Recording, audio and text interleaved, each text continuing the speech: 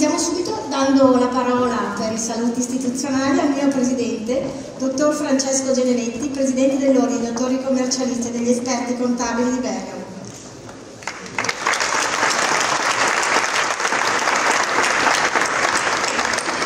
Grazie, grazie signore. Buongiorno, buongiorno a tutti. A nome, a nome mio personale Consiglio dell'Ordine dei dottori commercialisti ed esperti contabili di Bergamo, che ho l'onore di presiedere, vi do con grande emozione il benvenuto in questo meraviglioso teatro, il nostro meraviglioso teatro, in occasione dell'ormai tradizionale convegno che il nostro ordine organizza in tema di crisi di impresa.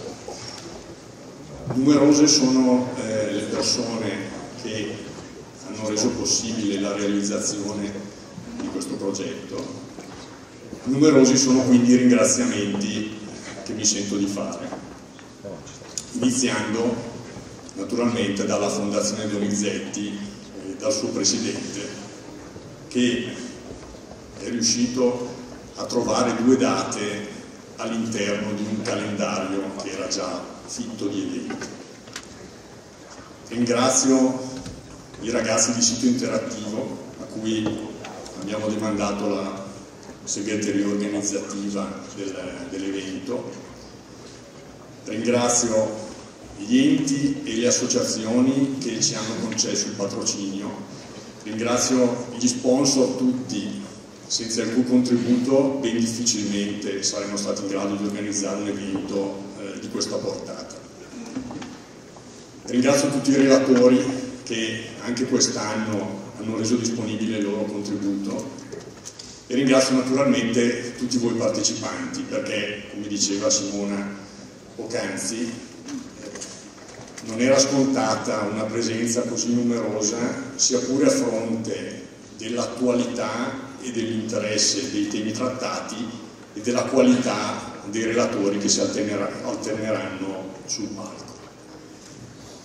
Ringrazio infine la nostra segreteria, la segreteria del nostro ordine, per l'impegno con cui ha dedicato la propria attività anche in questi ultimi giorni.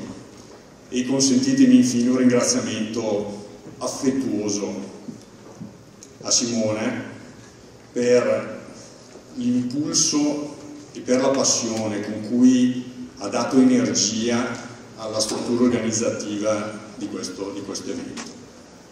Mi auguro di non aver dimenticato nessuno, in caso contrario chiedo scusa sin da ora.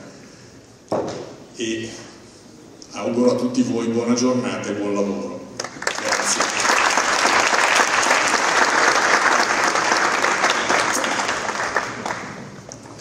Bene, continuiamo con i saluti. Chiamo a porgere i propri saluti il dottor Stefano Di Stili, Presidente Cassa di Previdenza dei dottori commercialisti.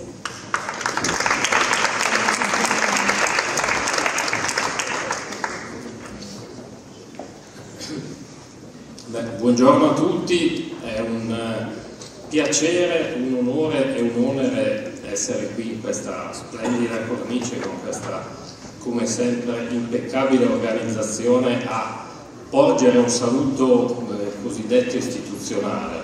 Eh, quindi è un onere perché riuscire, come sempre, in un tempo limitato a dire qualcosa che non a noi e che non rubi il tempo ai lavori che hanno poi la la parte importante di queste giornate è difficile. Devo dire che eh, appunto ieri sera alle due, quando siamo arrivati da tutt'altra parte dell'Italia, eh, ho trovato il compito già risolto perché eh, entrando in camera ho trovato il biglietto eh, di benvenuto dove c'era una semplice frase che credo raccolga tutto. L'istruzione e la formazione sono le armi più potenti che si possono utilizzare per cambiare il mondo di Nelson Mandela. Non voglio volare alto come Nelson Mandela assolutamente, ma credo che la stessa chiave di lettura valga per la nostra professione. E sono questi principi che eh, come Cassa dottori commercialisti, con eh, il mio consiglio di amministrazione, tutto il lavoro che stiamo facendo, eh, condividiamo pienamente e eh, credo che occasioni come queste eh, siano proprio l'esempio eh, migliore di, di, cosa vuol dire fare formazione e fare evoluzione della professione, fare sinergia con gli altri soggetti con cui dobbiamo imparare sempre di più ad interloquire, mettere a frutto le esperienze migliori della nostra professione. Quindi credo che esempi come questo diciamo, ci portino sulla giusta strada. Noi come Cassa Dottori Commercialisti cerchiamo di mettere in campo eh, al di là delle nostre attività istituzionali, anche proprio interventi che vadano in questa direzione e che eh, incentivino questo percorso per, per, tutti noi. E quindi ringrazio eh, diciamo, l'organizzazione, ringrazio il Presidente dell'Ordine, ma soprattutto Simona come sempre per il grande lavoro che fa ed è un piacere, come dicevo all'inizio, perché vedo tanti colleghi ma soprattutto tanti amici, quindi buon lavoro a tutti e mi siedo ad ascoltare con attenzione i lavori.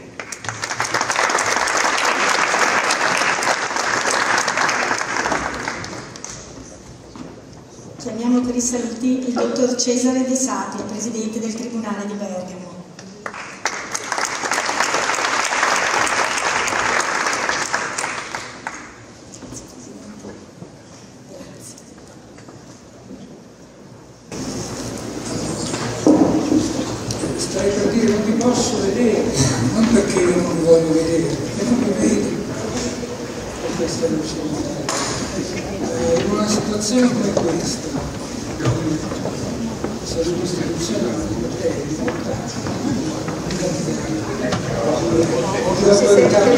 Scusate, dico, vi potrei eh, richiamare a quanto già dichiarato, quando vengono i testi davanti a noi, ci vi riporto a quanto già dichiarato, perché è stata già ehm, sottolineata l'importanza di questo convegno, due giorni, cui io ringrazio l'Ordine dei Commercialisti per questa grande opportunità di confronto che arriva in un momento in cui la stagione di passaggio ci crea una serie di problemi nel lasciare la vecchia legge fallimentare e il carico di colpevolezza a prescindere e ci porta davanti a una realtà diversa, eh, il codice della crisi, dove i nostri giudici dovranno applicare strumenti, istituti e categorie nuove per certi, per certi versi inesplorate. Eh, l'attenzione dovrà essere focalizzata sul, sui ruoli e eh, sulle responsabilità degli organi sociali delle imprese. Eh, questo è fondamentale perché soltanto dalla consapevolezza dei compiti e degli obblighi sarà possibile predisporre le nuove regole che dovranno essere eh, applicate. Quindi io ringrazio tutti, non vi tolgo altro tempo e vi saluto.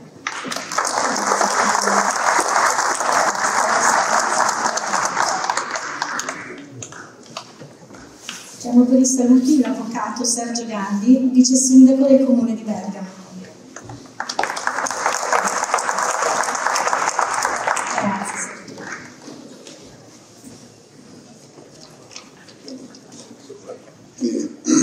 grande piacere che vi porto il saluto del sindaco dell'amministrazione comunale e di sincero ringraziamento all'ordine dei dottori commercialisti ed esperti contabili di Bergamo, al suo presidente Francesco Geneletti e al presidente del comitato scientifico Simona Bonomelli, per aver organizzato una volta di più questo convegno di assoluto prestigio scegliendo la nostra città per farlo. Vede la presenza di tanti illustri relatori, oltre tanti colleghi e tanti professionisti della nostra città e di fatto di, di ogni provenienza. E a tutti voglio dare il benvenuto appunto nella nostra città, attendendo con, con interesse eh, di ascoltare le relazioni su, su, temi di stretta attualità legati alle imprese e alla sua crisi. Crisi è una parola difficile, benché però non ci faccia piacere, è sempre tempo di crisi.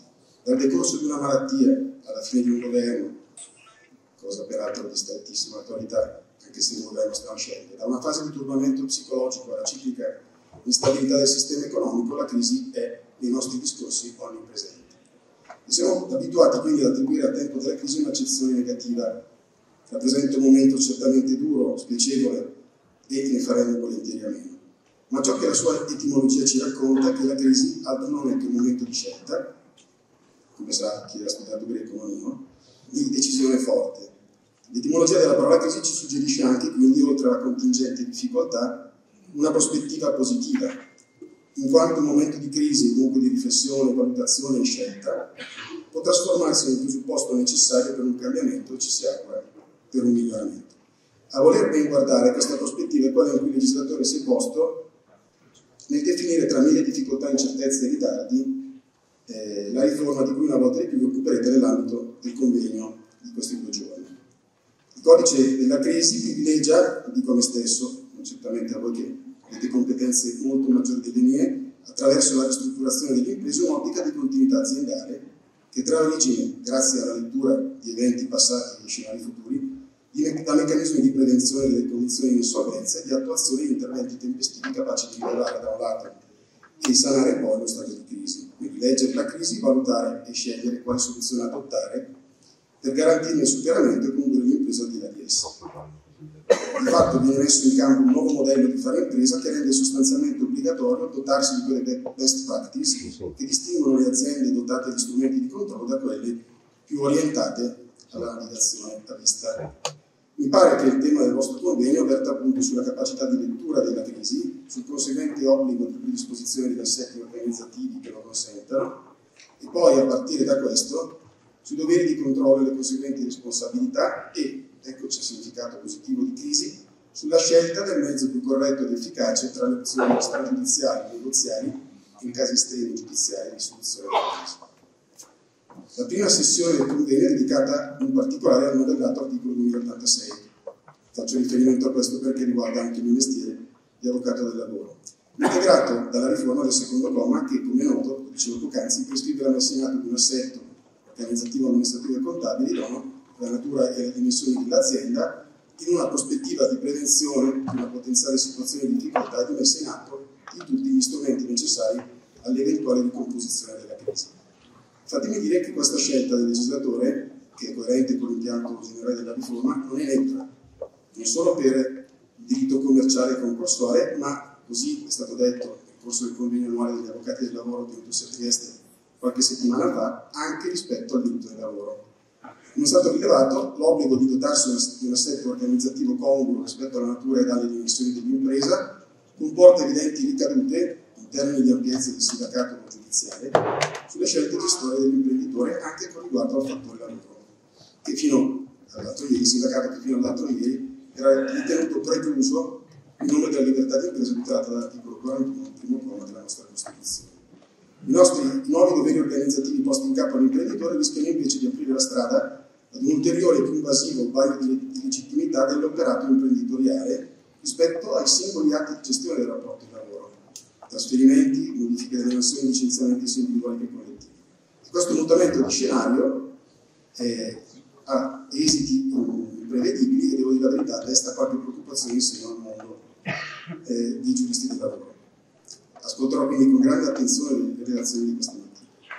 Un'ultima parola consentitemela sulla splendida cornice che avete scelto meritoriamente per questo convegno. In effetti, la, le finalità della riforma rispetto alle imprese in crisi non sono dissimili da quelle che hanno ispirato il restauro del teatro.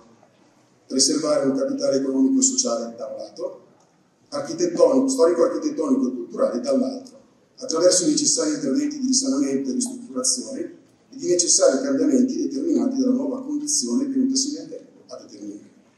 Il successo del restauro dei Donizetti, che si deve in larga parte a un vostro collega già ricordato da Francesco Poccanzi, Giorgio Betti e i suoi collaboratori, che hanno fatto uno straordinario lavoro, è il frutto di un lavoro durato quasi tre anni, con il solo imprevedibile blocco causato dalla pandemia e con minime variazioni anche rispetto ai tempi rispetto al progetto originario. Costo complessivo di 19 milioni di euro, sostenuto in parte dagli enti pubblici coinvolti, tra i quali anche il nostro comune, ma anche da un significativo apporto dei privati per oltre 9 milioni e mezzo. Ci sono stati 32.500 giorni di lavoro per quasi 260.000 ore complessive da parte di operai, tecnici e professionisti alternatisi in tecnica. Il risultato è quello che vedete, eh, lo sforzo prodotto ha generato appunto questo risultato grazie a una regia impeccabile e al concorso di tutti i soggetti coinvolti.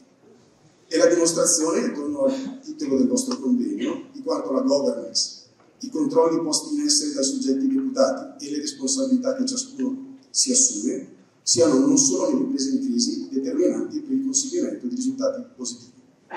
Buon lavoro a tutti voi.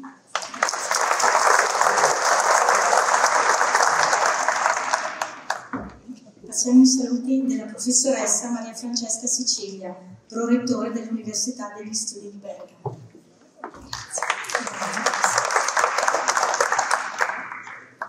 Buongiorno a tutti e a tutte, è davvero difficile parlare da questa posizione perché effettivamente non si vede il pubblico ed è sempre bello vedere i vostri eh, occhi oggi immagino particolarmente ansiosi di ascoltare gli importanti relatori che parteciperanno e interverranno durante questo interessantissimo convegno che è stato organizzato da parte eh, dell'Ordine dei dottori commercialisti e degli esperti contabili di Bergamo per il quale ovviamente ringrazio in primis il dottor eh, Giletti e Simone. Uh, io oggi sono qui a portare i saluti del nostro magnifico rettore, il professor Sergio Cavalieri, che si scusa per non aver eh, partecipato oggi, ma purtroppo eh, è impegnato e sono sopraggiunti insomma, altri impegni.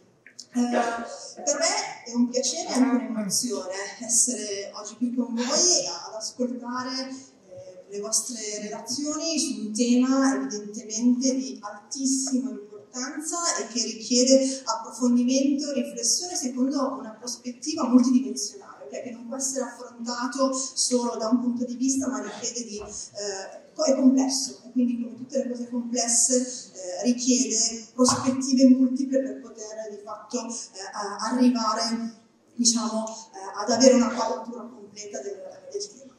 Ehm, Ovviamente l'università è molto contenta di aver dato il patrocinio a questo evento perché è un evento che si pone in continuità con il nostro lavoro, okay? che va nella prospettiva eh, di fatto del quello che viene definito dell'apprendimento continuo, quindi non, non, si, non si, finisce di studiare diciamo, uh, all'università, ma è qualcosa che deve essere, l'apprendimento è qualcosa che deve essere coltivato eh, nel tempo. Quindi questi eventi sono molto importanti, eh, l'università li supporta, vanno proprio nella direzione da noi eh, auspicata eh, e soprattutto diciamo che siamo contenti eh, di, attraverso questo patrocinio di consolidare quella che è una relazione ormai di lunga data eh, con, con, l'ordine dei dottori eh, commercialisti, relazione che speriamo si possa ulteriormente consolidare nel tempo e che sia foriera di crescita reciproca eh, e di valore condiviso, quindi di valore generato per la collettività e per tutti coloro che fanno parte della comunità universitaria e della comunità dell'ordine dei dottori commercialisti. Non vi rubo altro tempo perché ho visto che avete un'agenda molto fitta eh, di impegni e auguro a voi un fruttuoso eh, convegno. Quindi buon convegno a tutti e a tutte voi.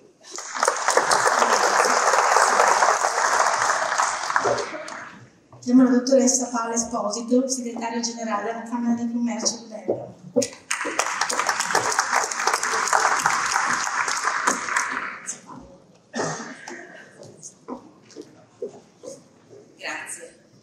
breve saluto davvero breve anche da parte della Camera di Commercio, come dicevo a Simone al Presidente Geneletti, sostituisco il Presidente Mazzolini che è a disposizione oggi, non riesce a essere qui con rammarico, ma volevamo fare mancare l'attenzione a, a questo evento in questa sede, noi l'abbiamo vissuto di recente per la premiazione fedeltà al lavoro qualche settimana fa, è sempre molto emozionante, un evento per cui davvero ringraziamo il, eh, l'ordine dei commercialisti, il Presidente Simona che l'ha dire, pensato dall'inizio del nostro percorso di normativo sulla, sulla crisi d'impresa che ci accompagna oramai eh, nel mese di ottobre come eh, un appuntamento fisso. Eh, due considerazioni molto veloci dal nostro punto di vista dell'osservatorio della Camera del Commercio che evidentemente eh, osserva eh, l'evolversi evidentemente della situazione economica del territorio. Due crisi, come già è stato detto da Stefano Grandi, due crisi che ci hanno eh, accompagnato e ci stanno accompagnando questi due anni, tutte e due, soprattutto la prima particolarmente inaspettata, da un punto di vista diciamo così, sanitario in parte superata, ma da un punto di vista economico non ancora del tutto perché se si pensa soltanto alla Cina, alle interruzioni che la produzione eh, ancora sta subendo in questo paese, tenuto conto delle catene di valore che ci legano appunto alla Cina, ancora sul nostro sistema paese ci sono implicazioni legate alla pandemia e poi evidentemente la eh, grave crisi geopolitica causata dalla, dalla guerra qui alle porte dell'Europa, i cari energetici, la spirale di rialzo dei prezzi che evidentemente sta mettendo in ginocchio le nostre imprese. Eh, I dati ci dicono che il PIL del, del 2022 si chiuderà positivamente ancora con un 3,5%, eh, quindi eh, probabilmente gli effetti di quello che sta accadendo li sentiremo tutti nel 2023 con un PIL prossimo allo zero, se no in territorio negativo. Questo ci fa pensare che anche i fondi del PNRR, che con tanta fatica eh, stiamo cercando di sfruttare, non saranno sufficienti a evitare una fase recessiva. Questo è l'aspetto diciamo, più delicato. Per venire quindi velocemente alla connessione tra questo tema importantissimo che indagherete in questi, in questi due giorni, cioè il tema della crisi d'impresa con la crisi delle imprese che a noi stiamo eh, effettivamente toccando con mano da tempo, ecco che eh, questa connessione ci spiega l'importanza cruciale e scientifica, ma anche legata all'economia reale che questo evento ormai eh, senz'altro eh, rappresenta. Le Camere eh, sono chiamate più in generale a, a sostenere e accompagnare lo sviluppo economico dei territori, quindi le nostre funzioni sono evidentemente ad ampio raggio su questi specifici eh, aspetti siamo chiamati ad accompagnare le imprese in momenti formativi o informativi, il più possibile condivisi anche con evidentemente professionisti e realtà che sono qui eh, eh, evidentemente riunite in questo teatro e quindi anche sulla materia della crisi di impresa è importante dire, fornire, ecco, soprattutto le imprese più piccole, meno strutturate, gli strumenti minimi necessari per fare bene impresa e comprendere anticipatamente eh, i, segnali, i, segnali, negativi. E in più il legislatore ci ha affidato, come ben noto, eh, lo strumento, lo strumento della composizione negoziata che eh, è comunque eh, in una fase ancora molto molto delicata e difficile, le prime 400 istanze depositate presso le nostre camere di commercio a livello di tutto eh, il paese dimostra, dimostrano come questo istituto mh, ancora non, non, non, dire, non, mostra segni di, eh, diciamo così, di, di decoro, di successo. La prevenzione e la fase del controllo e dell'allerta sono sicuramente molto prima posizionate, da posizionare molto prima dentro le imprese con ovviamente il supporto di organi di controllo eh, professionali e competenti che giustamente voi eh, rappresentate. Quindi davvero un saluto, un ringraziamento perché tutti coloro che sono qui oggi a vario titolo hanno un ruolo e una responsabilità che ci unisce e, naturalmente a sostegno dei nostri sistemi economici. Quindi grazie Simone e grazie Presidente.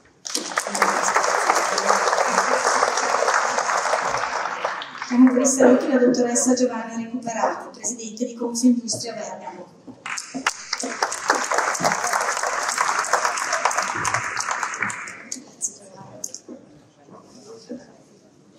Bene, buongiorno, buongiorno a tutte e a tutti, come si dice oggi, è con piacere che sono qui a portare i saluti di tutta Confindustria in questo importante convegno dell'Ordine dei Dottori Commercialisti. Ci sono più ragioni che mi rendono contenta di essere qui. Primo, il fatto di eh, salutare Simona Bonomelli, la vostra ex presidente, che eh, oggi è presidente della LUBER, l'Associazione Laureati Università di Bergamo, lasciatemelo dire, che ha preso il testimone appunto da me e che sta svolgendo questo compito con la consueta qualità e impegno. E lasciando un piccolo spot, invito tutti i laureati Università di Bergamo a farne parte perché eh, portare testimonianza di un'appartenenza alla nostra università è un valore credo fondamentale. Cosa sarebbe Bergamo senza i 23.000 studenti che oggi frequentano la nostra università?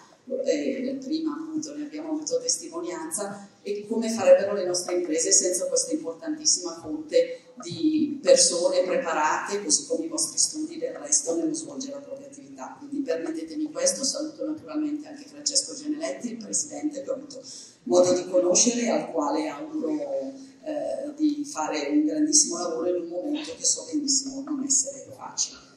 Tra i commercialisti, i dottori commercialisti e Confindustria c'è un legame strettissimo, evidente, per, una, per una ragione particolare che è quella che si dice da sempre, ma credo validissima ancora oggi, il commercialista è il primo confessore delle imprese. Quindi se questo è vero non può che essere necessario che tra la casa delle imprese e eh, i, loro, i, più i, loro, più intimi confessori o figure con le quali si confrontano ci sia un legame stretto, fecondo e proficuo. E non è solo una questione tecnica, eh, spesso è quanto prima e ancora più una questione umana e quindi di, di rapporti e di relazioni. Su questo si basano molto spesso gli scenari poi futuri di sviluppo, non tanto solo sulle normative a controllo. E infine naturalmente entro nel merito del tema che oggi andate, che in questi giorni andate ad affrontare, importantissimo.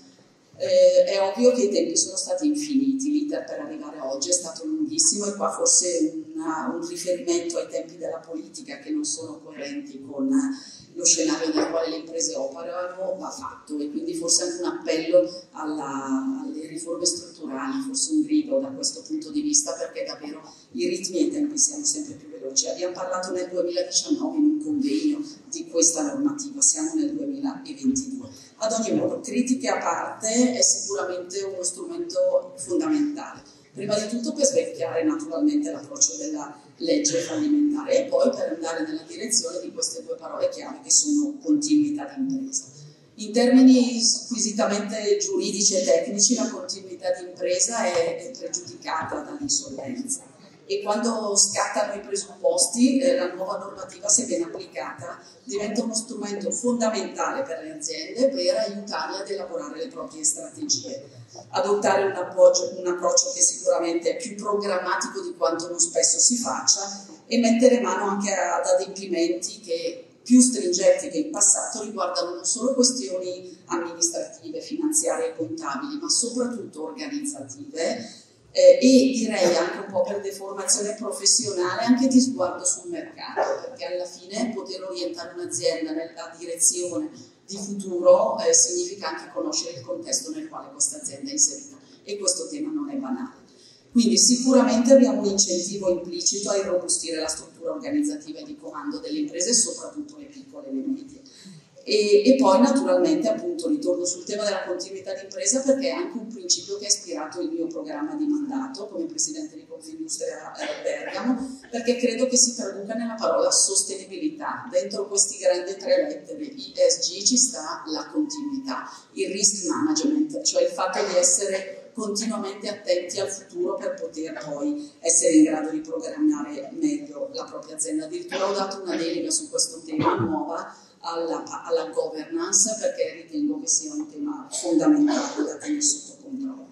Quindi nuove responsabilità, nuovi impegni per le imprese e soprattutto nuove responsabilità per voi commercialisti che in questa partita giocate una parte fondamentale e vi prendete naturalmente carico di questa, di questa responsabilità andando ad allargare molto di più il campo delle vostre, delle vostre attività all'interno delle imprese, non più è tanto solo un controllo e una verifica di dati che sono già accaduti, ma veramente un lavoro di progettualità, di programmazione, di strategia che richiede un nuovo e anche più appassionante, credo affascinante lavoro eh, per, per il vostro mestiere. I tempi sono, e vado a concludere, incerti. Chiunque stia facendo pre previsioni oggi non sa eh, veramente quale possa essere l'esito delle proprie azioni, al punto che eh, non tanto solo gli imprenditori ma anche gli analisti anticipano le loro previsioni dicendo se la pandemia resta, se la guerra continua, se l'inflazione non scende accade questo, ma tutti questi se incrociati naturalmente creano complessità serie nel, nel capire il peso delle scelte. Per questo è fondamentale quantomeno attivare tutto quel che si può, quel flusso continuo di informazioni, di dati, di numeri, di conoscenze che possono permettere alle imprese di prendere decisioni più consapevoli, un po' più consapevoli. E questo è un mestiere che richiede ritmi diversi, eh? non risponde alle logiche dei tempi dei bilanci puntuali e rigorose, richiede un modo di lavorare che va innovato e rinnovato anche nei tempi e nelle modalità di interfacciarsi con le imprese. Vado davvero a concludere, abbiamo quindi in questo momento bisogno sicuramente di imprenditori lucidi, ai quali non togliere l'intuito, che è una forza eccezionale, ma da moderare con una dose importante di, eh, dire, di informazioni. Ma abbiamo bisogno di professionisti con i quali possiamo, possano e possiamo confrontarci, cogliere il progetto dell'impresa, prendersene carico e portare appunto quelle quella quantità e qualità di informazioni che permettono la previsione. Con una consapevolezza, e vado davvero a chiudere, che sicuramente la continuità di impresa è un obiettivo, ma ancora di più lo è l'aumento di valore delle nostre aziende, che è la, il vero bisogno del nostro sistema economico e del nostro territorio. Vi ringrazio e vi auguro buon lavoro. Noi siamo pronti, noi ci siamo, grazie. Bene, direi di eh, partire immediatamente. Eh, chiamo Monsignor Giulio Della Vite, segretario generale della Curia Vescovile di Bergamo, che apre i lavori con un POS per un nuovo rinascimento.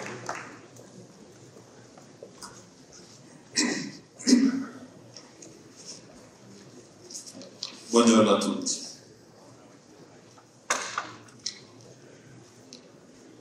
Per una mente grande niente è piccolo. Sono parole di Sherlock Holmes in un aneddoto che lo riguarda. Si racconta che il geniale investigatore fosse in vacanza in campeggio.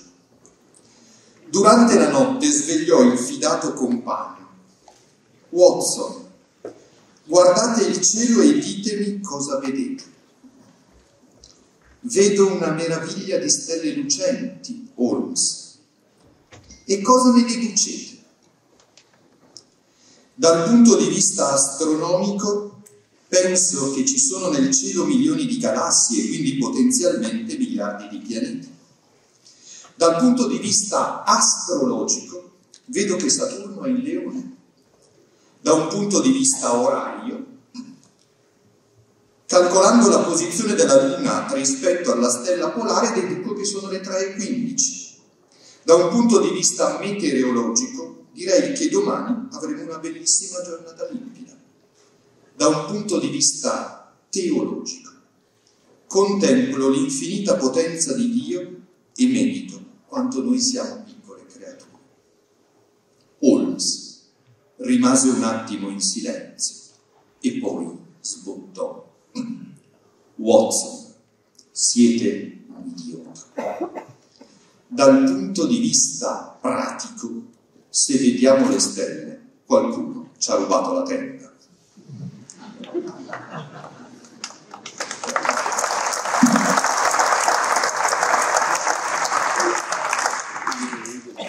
Ci hanno rubato la tenda. Dobbiamo partire da qui per essere boss ed esserlo per un nuovo rinascimento. Prima è stata la crisi finanziaria, poi la pandemia, poi la guerra con le implicazioni atroci su materie prime e prezzi dell'energia. Siamo passati in due anni da andrà tutto bene a andrà tutto all'ene.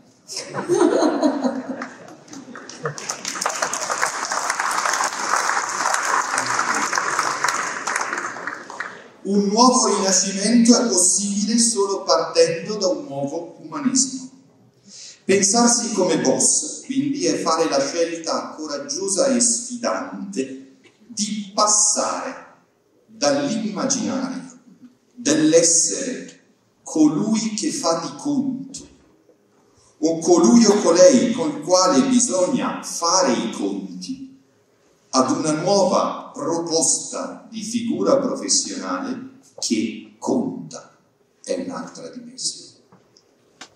Non è più questione di erogare un servizio su misura mettendo toppe a urgenze e esigenze, surfando tra scadenze e normative.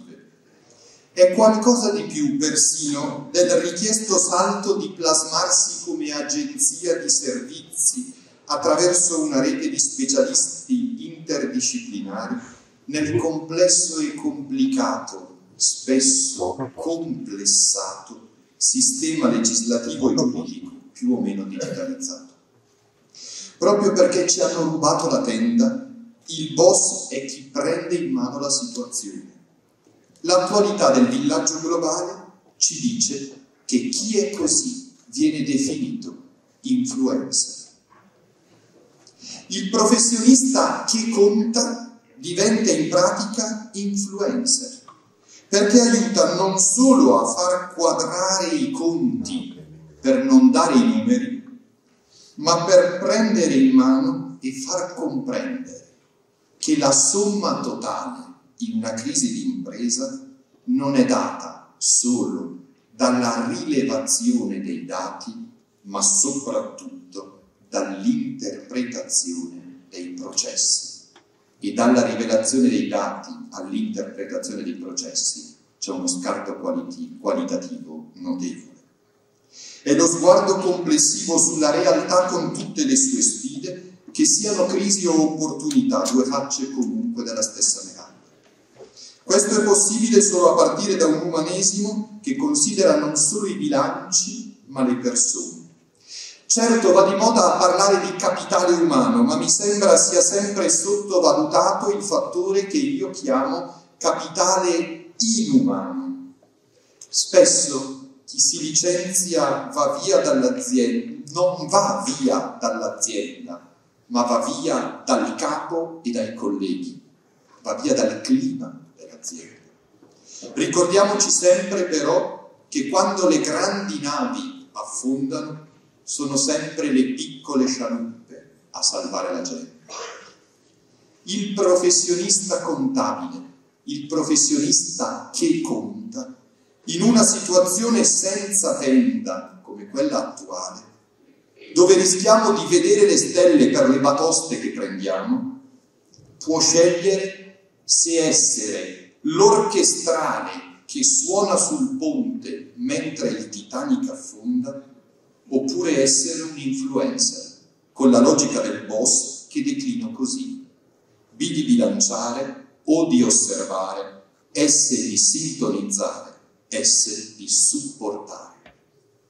Sono gli stessi elementi che va di moda cercare nella economia circolare, spesso ridotta a un modaiolo codice etico in evidenza sul sito, ma meno rintracciabile nella realtà, nonostante poliedrici eventi aziendali. B di bilanciare.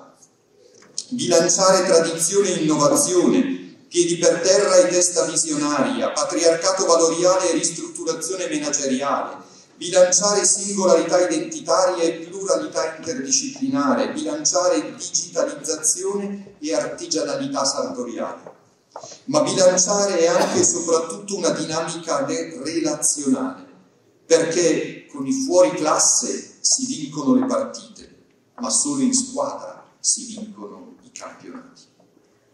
Non importa quanto brillante sia la tua mente o la tua strategia, se giochi da solo perderai sempre contro una squadra, insegna Reid Hoffman, fondatore di LinkedIn.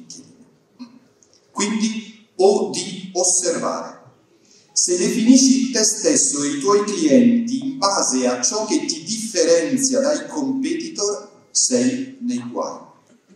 Osservare e essere convinti che se i problemi non finiscono mai, neanche le soluzioni finiscono. Se però tu non sei parte della soluzione, vuol solo dire che sei parte del problema, non c'è alternativa. Quindi se non siete disposti a rischiare il solito, dovrete accontentarvi dell'ordinario, insegnava John Roth.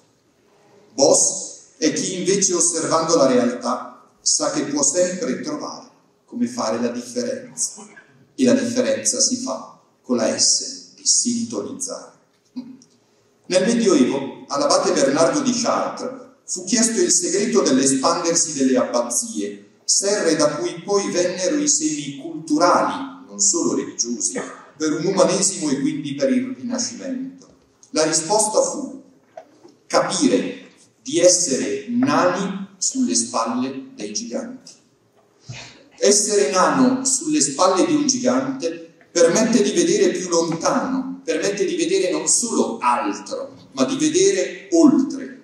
Così si fa crescere ulteriormente il gigante, si può vedere ancora oltre, però solo rimanendo nani si può stare e rimanere ed essere portati sulle spalle dal gigante, azionando un circolo virtuoso di miglioramento. Perché se il nano diventa obeso, pensando di essere capace lui di fare tutto per il gigante, cade nella sindrome della mosca cavallina, tipica di chi si crede bravo fantino perché salta continuamente da una parte all'altra su diverse criniere svolazzanti, mentre il cavallo galoppa a tutta velocità per conto suo, finendo il più delle volte in un burrone, mentre la mosca vola via da un'altra parte, spesso però appoggiandosi su cose che qui non posso dire. Nel, mille... Nel 1950 Deming stigmatizza il ciclo del miglioramento continuo, Plan Do Check Act. La norma ISO 2015, denominata Level Structure for Management System Standards, lo modifica introducendo un fulcro che si collega a ciascuno degli elementi precedenti e li lega, la leadership, e il mettere al centro se stessi come boss di un capitale inumano per sintonizzare. È la logica che mio nonno mi insegnava, che era la logica della ruota della bicicletta. Il cerchione collega i raggi. Se si prova ad avvicinarli sforzando spostamenti dove c'è il cerchione, i raggi si rompono e la ruota si storta. Invece, se si va verso il perno, i raggi si ritrovano già uniti. Passare dallo sforzo del cerchione che si consuma tenendo insieme, a portare al centro e tendere al fulcro, senza presumere di essere il fulcro, è il compito del contabile, cioè di chi conta davvero. Come? Con la S di supportare. Supportare non è sopportare. Sopportare è mettersi in difesa, supportare è, lascia- è lanciarsi in attacco, sopportare è passivo, supportare è attivo, è portare su attraverso tre dinamiche che coesistono come cerchi concentrici. Si porta su, si supporta ciò che è a terra e va rialzato, perché chi è davvero forte non è chi schiaccia, ma chi riesce a risollevare. Poi, quando è su, si supporta, si porta su per sostenere in equilibrio e per irrobustire. E poi, terza, terza dimensione, una volta stabilizzato, si può supportare, portare su ad un livello superiore, azionandosi appunto come influencer per alzare l'asticella qualitativa. Papa Francesco, parlando a Confindustria il 12 settembre scorso, ha detto una delle gravi crisi del nostro tempo è la perdita di contatto col lavoro. Diventando grandi, la vita trascorre in uffici, riunioni, viaggi, convegni e non si frequentano più le officine e le fabbriche. Si dimentica l'odore del lavoro. Se è vero che, che il lavoratore dipende dai suoi imprenditori e dirigenti, è anche vero che l'imprenditore dipende dai suoi lavoratori, dalla loro creatività, dal loro cuore e dalla loro anima. Possiamo dire che molto dipende dal capitale spirituale. Quindi, per essere boss, per essere influencer di un nuovo umanesimo che aziona un nuovo rinascimento, per essere persone che contano e non solo che fanno di conto, per essere professionisti che hanno i numeri e non solo fanno i numeri, o peggio, danno i numeri. Serve coraggio, parola abusata, di cui però si dimentica la radice che è cor avere, avere cuore, avere un capitale umano, un capitale spirituale, che è quello che fa investire nella B di bilanciare, nella O di osservare, nella S di sintonizzare, e nella S il supportare. Questo perché per una mente grande niente è piccolo. così per me si può ritrovare la tenda rubata. Grazie e buona